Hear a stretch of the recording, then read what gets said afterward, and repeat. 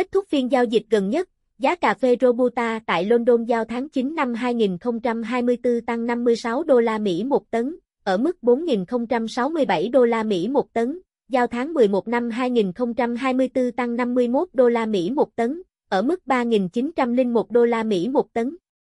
Giá cà phê Arabica giao tháng 9 năm 2024 giảm 1,95 cent LB, ở mức 224,85 cent LB, giao tháng 12 năm 2024 tăng 2,15 cent LB, ở mức 222,35 cent LB.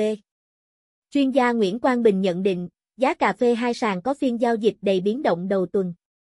Thị trường hai mặt hàng cà phê tiếp tục trái chiều nhau, nhưng kịch bản khác hẳn cuối tuần trước. Robusta quay đầu tăng khi có đồng USD hỗ trợ, trong khi thông tin về vụ thu hoạch ở Brazil đẩy Arabica suy yếu trở lại. Rạng sáng ngày 2 tháng 7 trên thị trường Mỹ, chỉ số US Dollar Index (DSI) đo lường biến động đồng bạc xanh với 6 đồng tiền chủ chốt, Euro, Yên, GBP, Canada Dollar, SEC, CHF, giảm 0,04%, xuống mốc 105,83. Lượng mua khống cuối tuần trước vẫn còn cao cũng là nguyên nhân đẩy giá cà phê trên sàn New York giảm. Thông tin trên báo chí, Ấn Độ, nhà xuất khẩu cà phê lớn thứ năm thế giới đang được hưởng lợi nhờ giá cà phê Robusta tăng vọt, vượt qua giá cà phê Arabica tại thị trường trong nước. Xuất khẩu cà phê của quốc gia này liên tiếp đạt kỷ lục mới về giá trị trong 3 năm qua và dự kiến đạt đỉnh cao mới trong năm nay. Nông dân trồng cà phê của Ấn Độ đang trúng đậm khi nguồn cung cà phê Robusta thiếu hụt do hạn hán ở Việt Nam dẫn đến cơn tăng giá bùng nổ. Theo Ủy ban Cà phê Ấn Độ, CBI, cà phê Robusta tăng giá là diễn biến đáng mừng cho những người trồng cà phê ở Ấn Độ. Gần 70% trong tổng sản lượng cà phê 374.200 tấn của Ấn Độ trong niên vụ 2023-2024 là Robusta. Việc tăng giá khiến nhiều nông dân Ấn Độ bất ngờ. Nông dân đã bán khi giá tăng mạnh hồi tháng 3 và tháng 4 nhưng sau đó lại tiếc vì giá còn tăng cao hơn nữa trong tháng 5. Giá cà phê hôm nay 2 tháng 7 trong khoảng 120.000, 121.300 đồng 1 kg. Thị trường hai mặt hàng cà phê tiếp tục trái chiều nhau, nhưng kịch bản khác hẳn cuối tuần trước. Robusta quay đầu tăng khi có đồng USD hỗ trợ, trong khi thông tin về vụ thu hoạch ở Brazil đẩy Arabica suy yếu trở lại. Tại huyện Di Linh, Lâm Hà, Bảo Lộc, Lâm Đồng, giá cà phê hôm nay được thu mua với mức 120.000 đồng 1 kg. Tại huyện Cư Mờ Ga, Đắk Lắk, giá cà phê hôm nay ở mức 121.000 đồng 1 kg. Tại huyện Ea Hờ Leo, Đắk Lắk, Buôn Hồ, Đắk Lắk, giá cà phê hôm nay được thu mua cùng mức 120.900 đồng 1 kg. Tương tự tại tỉnh Đắk Nông, Giá cà phê hôm nay thu mua ở mức 121.300 đồng 1 kg tại Gia Nghĩa và 121.200 đồng 1 kg ở Đắk Rơ Lấp. Tại tỉnh Gia Lai, giá cà phê hôm nay ở mức 121.000 đồng 1 kg, Chư Prong, ở Pleiku và La Crai cùng giá 120.900 đồng 1 kg. Còn giá cà phê hôm nay tại tỉnh Con Tum được thu mua với mức 120.900 đồng 1 kg. Giá tiêu hôm nay ngày 2 tháng 7 năm 2024, tại khu vực Đông Nam Bộ tăng từ 2.000, 3.000 đồng 1 kg ở một số địa phương, giao dịch quanh mốc 156.800 đồng 1 kg, giá mua cao nhất tại tỉnh Đắk Nông, Đắk Lắk, Bà Rịa, Vũng Tàu, Bình Phước là 157.000 đồng 1 kg. Theo đó, giá tiêu Đắk Lắk được thu mua ở mức 157.000 đồng 1 kg mức tăng 2.000 đồng 1 kg so với giá ngày hôm qua. Giá tiêu chư sê, Gia Lai, hiện ở mức 156.000 đồng 1 kg, tăng 3.000 đồng 1 kg so với ngày hôm qua.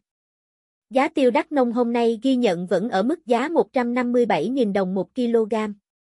Tại khu vực Đông Nam Bộ, giá tiêu hôm nay tăng 2.000, 3.000 đồng. Cụ thể, tại Bà Rịa, Vũng Tàu tăng 3.000 đồng ở mức 157.000 đồng 1 kg, tại Bình Phước tăng 2.000 đồng 1 kg, giá tiêu ở mức 157.000 đồng kg, giá tiêu nội địa hôm nay tăng từ 2.000, 3.000 đồng, giao dịch ở mức 156.800 đồng 1 kg.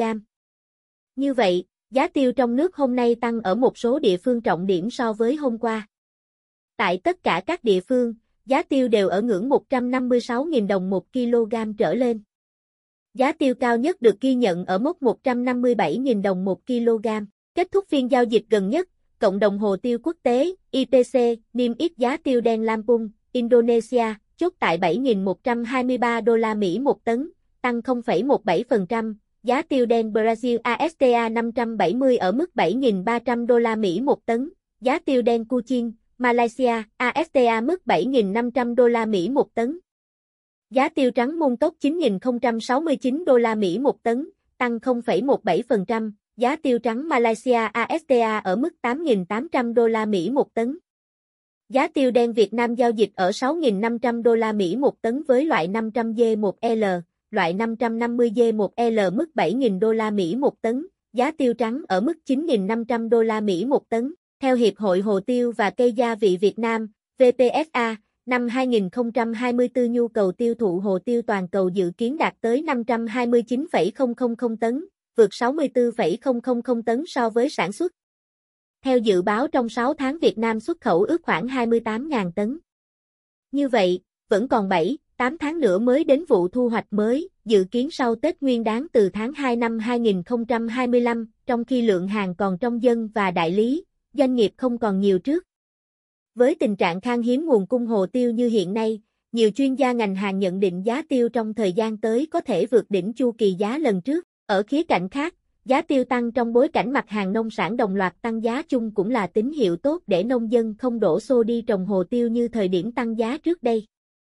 Đồng thời, nông dân sẽ có điều kiện chăm sóc vườn tiêu tốt hơn theo hướng bền vững, thích ứng với biến đổi khí hậu và gia tăng sản lượng.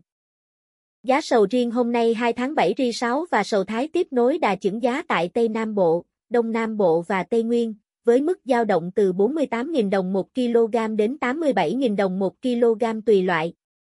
Về xuất khẩu sầu riêng sang thị trường Trung Quốc, Indonesia đặt mục tiêu đạt 8 tỷ đô la Mỹ. Giá sầu riêng hôm nay ngày 2 tháng 7 duy trì đi ngang. Giá sầu riêng hôm nay tại Tây Nam Bộ, Đông Nam Bộ và Tây Nguyên, với mức giá dao động từ 48.000 đồng 1 kg đến 87.000 đồng 1 kg tùy loại. Giá sầu riêng hôm nay loại thái lựa đẹp tại khu vực Tây Nam Bộ và Đông Nam Bộ tiếp tục giữ mức giá cao nhất từ 84.000 đồng 1 kg đến 87.000 đồng 1 kg, đang dao động thấp nhất quanh ngưỡng 48.000, 50.000 đồng 1 kg là giá sầu riêng 6 mô xô. Tại khu vực Tây Nguyên, giá sầu riêng Thái Đẹp và sầu riêng 6 mô xô cũng tương tự lần lượt là mặt hàng có giá cao nhất và thấp nhất. Giá sầu Thái Đẹp tại khu vực này theo đó đang có giá khoảng 80.000, 82.000 đồng 1 kg, còn giá sầu ri 6 mô xô cũng đi ngang trong khoảng 45.000, 48.000 đồng 1 kg.